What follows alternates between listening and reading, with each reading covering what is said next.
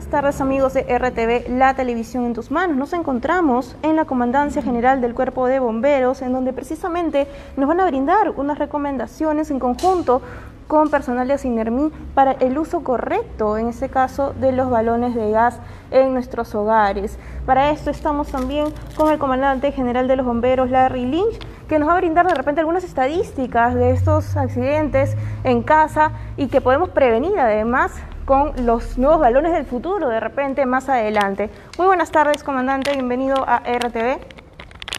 Bueno, esta es una campaña de prevención de uso de balones de gas domésticos eh, con Ocinermin, que es la que está más preocupada para que haya un tema de regulación y seguridad, tanto en las viviendas o domicilios de las personas, como también esto, en los restaurantes, donde normalmente se manejan este tipo de balones de gas. Eh, es correcto, este año había un incremento casi de 8.000 emergencias de fuga de gas solamente en Lima y Callao.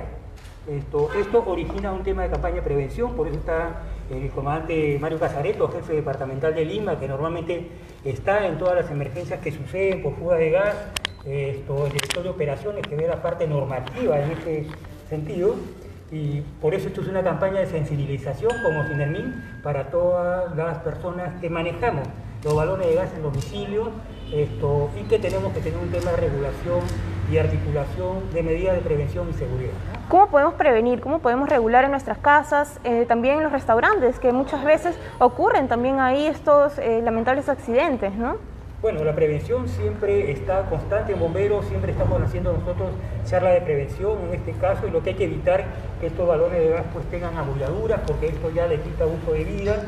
El tema también de lo que es los conectores eh, de los balones de gas, el tipo de mangueras que se pueden usar, y esto lo puede explicar eh, Tomás Casareto, que es el que está constantemente en las emergencias de la ciudad de Lima, y después el director de operaciones. Comandante, bienvenido para RTV. Coméntanos un poco a las personas que nos están viendo en vivo en estos momentos, de qué manera podemos prevenir, cómo podemos ver nosotros mismos en nuestras casas, en nuestros eh, en los restaurantes, eh, estos accidentes, ¿no? Ver de repente estas conexiones, cómo identificar si están todavía en buen uso y, sobre todo, pues, este, eh, comprarlos a tiempo, ¿no? Bueno, yo comenzaría por lo, lo, más trágico. Ir a una emergencia producto de una defragación de gas es un tema para nosotros complejo porque vemos el sufrimiento de las personas. Me parece ideal la iniciativa de Ocinermin en hacer este tipo de campañas preventivas donde normalmente las paramos en cada emergencia que vivimos esta tragedia, paramos anunciando eh, las causas que han originado este tipo de emergencias, donde falta de mantenimiento de, los equipos de accesorios de una cocina a gas no son este, realizados con, oportuno mantenimiento.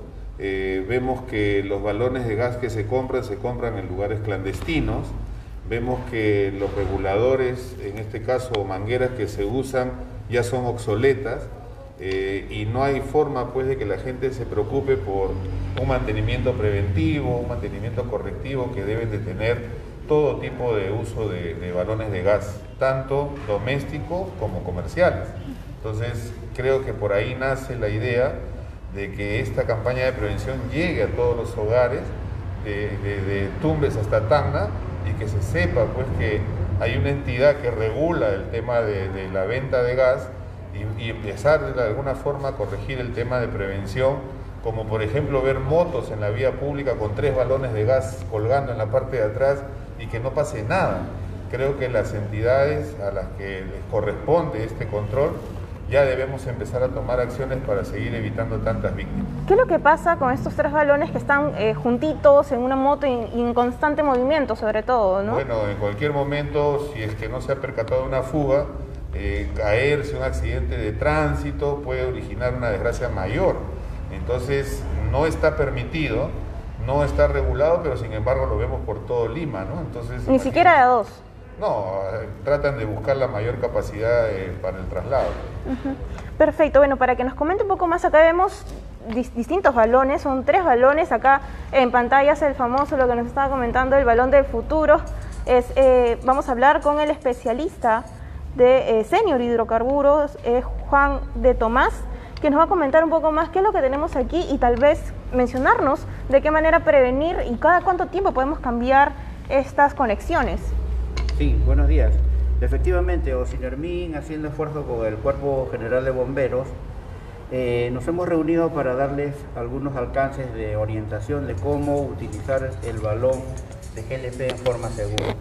Efectivamente, como ya lo mencionó el comandante, los balones metálicos sufren a veces eh, golpes y por lo tanto tienen combaduras, hendiduras.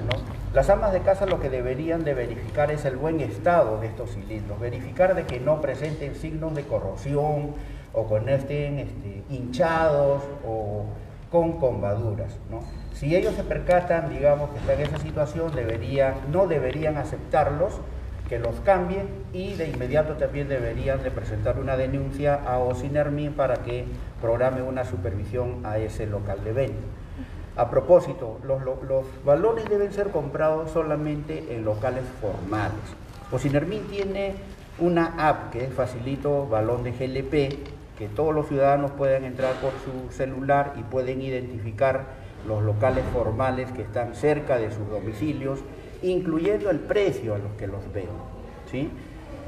Con respecto a las mangueras, estábamos hablando que efectivamente la manguera azul que ustedes ven por aquí es una manguera que de ninguna manera se debe utilizar para el uso del GLP, perdón. No está Ese ya no. Esto es para agua. Lamentablemente vemos que en muchos hogares todavía se siguen utilizando. ¿Qué material es, disculpe? Este es un plástico que no tiene, eh, no está preparado para este, soportar las presiones que se utiliza para el GLP. A diferencia de esta manguera, que sí está aprobado, tiene fabricantes reconocidos y está fabricado bajo normas técnicas peruanas, ¿no? Y las podemos identificar porque tienen un color naranja y, o un color amarillo. Y, y tienen inscripciones a lo largo de la manguera de quién es el fabricante, cuál es la fecha de vencimiento, cuál es la presión que soporta esta, esta manguera. Y el otro punto importante es el uso de los reguladores. Mayormente tenemos el regulador tipo Fischer, el de la palanquita roja. ¿Es el común, se podría decir? Eh, sí, la mayoría tiene este tipo de eh, reguladores. ¿no? Ocinermin recomienda, digamos, el uso de la, del regulador eh, tipo premium, porque los elementos que tiene internamente no permiten, digamos, la fuga del GLP a diferencia de este componente. Y lo que también estamos viendo ya en, las, los accidentes que están ocurriendo es que vienen utilizando este aparato que no regula ninguna presión, o sea, esto no se llama ya regulador, se utiliza aquí efectivamente, sino que lo utilizan para tener mayor presión del gas. O sea, esto lamentablemente genera alto índice de accidentes porque nos sale el gas que está a la misma presión que está en el balón, que no es la que necesita lógicamente la cocina. Y si utilizamos mangueras no adecuadas, empiezan ya, por la presión, empiezan a fisurarse y ahí empiezan las fugas que con el tiempo puede generar después una desgracia como ya lo han venido haciendo. Y con relación a los balones, vemos aquí tres eh, diferentes balones, obviamente ese está totalmente ya eh, ya no se puede usar, ese de aquí está pintado. ¿Es correcto que estén pintados los balones o no se recomienda? efectivamente. Hemos traído como muestra un balón que está fuera de circulación.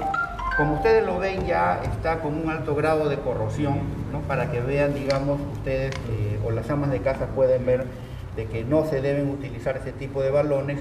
Todo balón sí efectivamente debe estar pintado. Ustedes verán de que hay distintos tipos de colores de los balones esos los aprueba el Ministerio de Energía y Minas a cada planta envasadora que tiene su propio color. Lo más importante es que vean de que estas válvulas no deben ser pintadas, ¿ya? porque ah, van a este, afectar, digamos, el funcionamiento de esa válvula. Y también tenemos lo que estamos denominando el balón del futuro y que ya viene utilizándose gradualmente en algunos otros países de Sudamérica como Chile, Uruguay, Venezuela, que es el balón composite. Este balón es, digamos, un material compuesto con fibra, ¿no? de cual es, digamos, es bastante liviano comparado con un este, balón de acero. Eh, nunca se va a oxidar porque no es metal. sea, la vida que tiene, digamos, es, es, este, muy superior al, al balón que tiene.